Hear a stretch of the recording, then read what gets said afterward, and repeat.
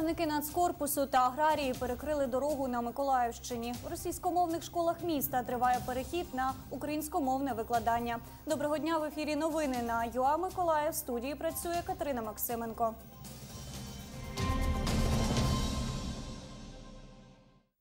Сьогодні на трасі Одеса Херсон відбулася акція протесту. Її організували члени Всеукраїнської аграрної ради, які перекрили ділянку траси поблизу села Зелений Гай. Таким чином аграрії протестували проти можливого рішення уряду щодо скасування мораторію на продаж землі. Також до заходу долучились члени політичної партії Національний корпус. Всього перекривали дорогу близько 50 людей. Українська аграрна рада дуже занепокоєна тим, що ну по суті ми залишимося без землі. Це станеться як там в 90-х годах розпродали, заводи. Зараз у нас залишилося лише ну по суті один із наших активів це земля. І коли українці залишаться без землі на своїй же землі, це не є неправильно. Е, До нас вони ну обратилися за допомогою, е, так як ми являємося по суті, ну розділяємо їхні принципи і вважаємо, що українська земля повинна належати українцям. Согласно принадлежит Згідно конституції, земля належить народу, і ніхто не має права продавати її, віддавати без згоди народу. Президент Зеленський йшов до влади і казав, що всі серйозні питання у державі вирішуватимемо тільки через референдум. Прийшов до влади, забув про все. Детальніше про акцію протесту дивіться у нашому наступному випуску.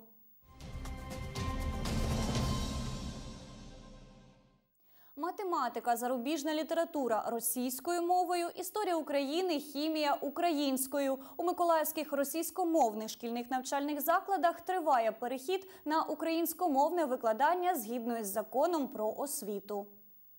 Економічний ліцей номер 2 Ірина Курскевич, мати ліцеїста Сергія Стьопіна. Жінка каже, син вільно розмовляє російською та українською мовами.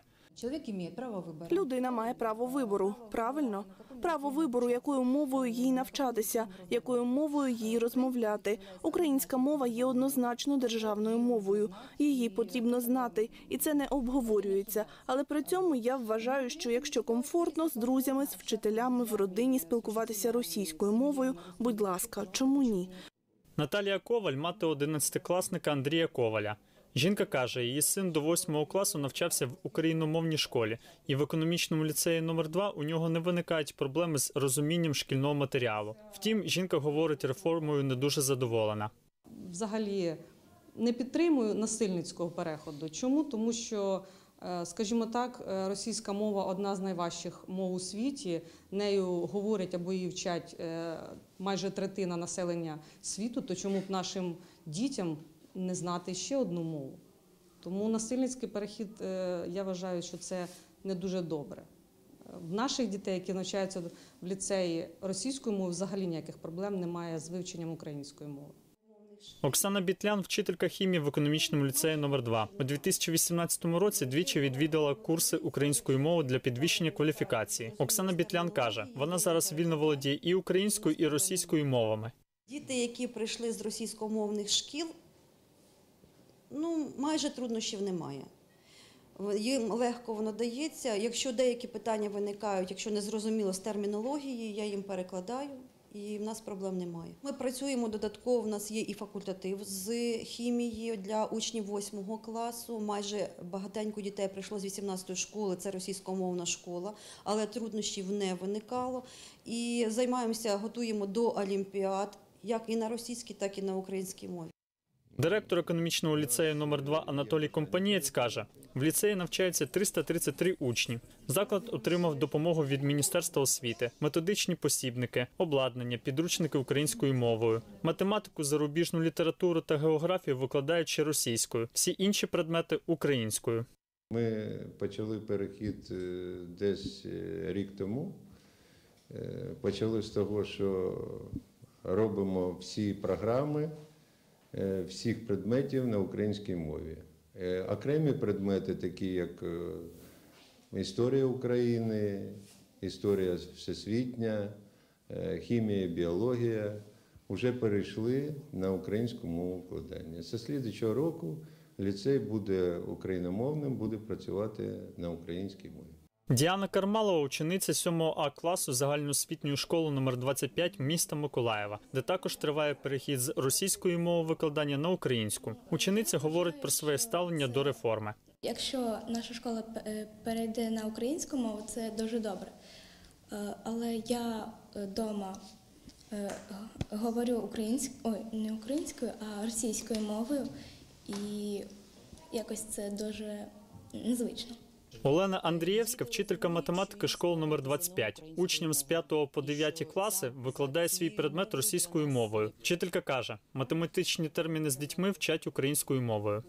Діти розуміють, що їм складати ЗНО українською мовою, і що ця за цією мовою для нас майбутнє. І тому я на уроках е, стараюся їм казати деякі терміни української мови. Вони запам'ятовують навіть ті, ті учні, які е, вивчають зараз математику російською мовою. В цьому році, е, в 10 класі, у нас підручники надруковані українською мовою.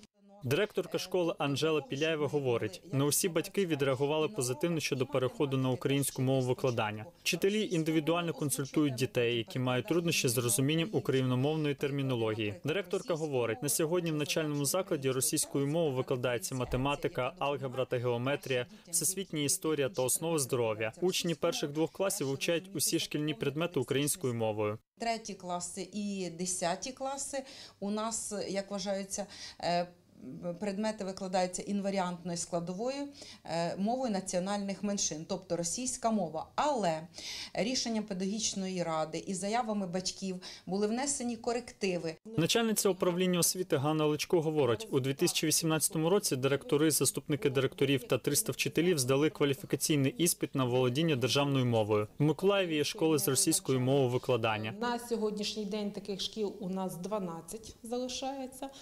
Але в подальшому, з 1 вересня 2020 року, з 5 класу, наші учні будуть навчатися відповідно до вимог закону про освіти, а також відповідно ще до одного закону України це про забезпечення функціонування української мови як державної. З 5 класу будуть навчатися виключно державною мовою.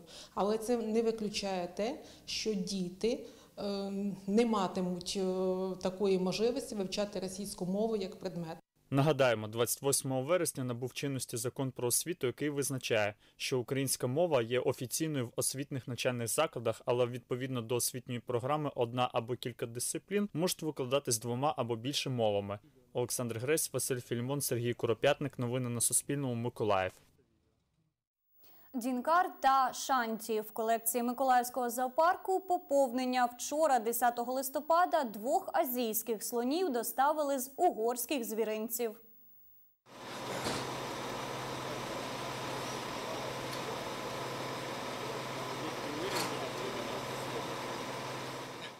Дев'ятирічний Дінкар обслідує зимовий вольєр. Потрапивши сюди 10 хвилин тому, на нього вже подивився восьмирічний Олександр Кузьменко. Хлопець каже, раніше бачив слонів лише по телевізору. Враження, що вони такі великі і масивніші, що вони дуже добрі. Якщо б вони були не такі спокійні, то б вони могли б все тут розтрощити. Одному 11, іншому 9 років. Старшого Шанті і молодшого Дінкара привезли з зоопарків Угорщини в рамках європейської програми збереження та розмноження рідкісних видів. Мы реконструировали слоновник. Ми реконструювали слонівник, зробили капітальний ремонт, побудували пішохідний мостик. Два роки в нас пішло, щоб утримати слонів. І в кінці минулого року ми вже знали, що слони будуть у нас. Експонується лише молодший, старший слон Шанті на карантині, де башкетує, говорить директор Миколаївського зоопарку Володимир Топчий. Ну, слонов. Ну, ми багато років утримували слонів, і для нас це не новий вид, на відміну від жирафів. Ось, хоча є свої тонкощі. Це два хлоп'яки.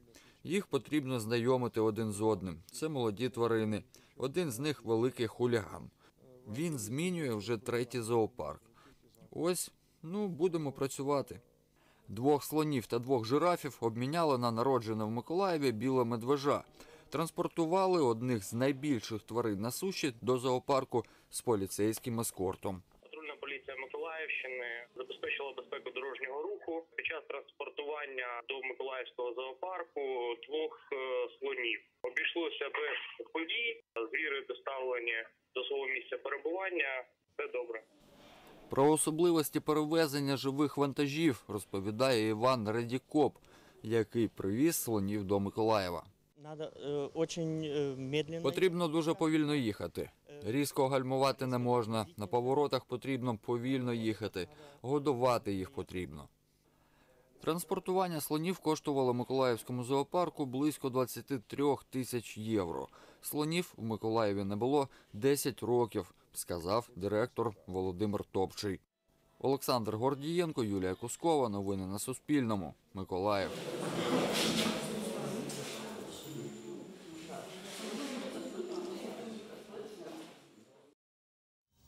І на цьому я з вами прощаюсь. Більше новин розповість моя колега Світлана Кльосова вже о 17-й. Бажаю вам вдалого дня.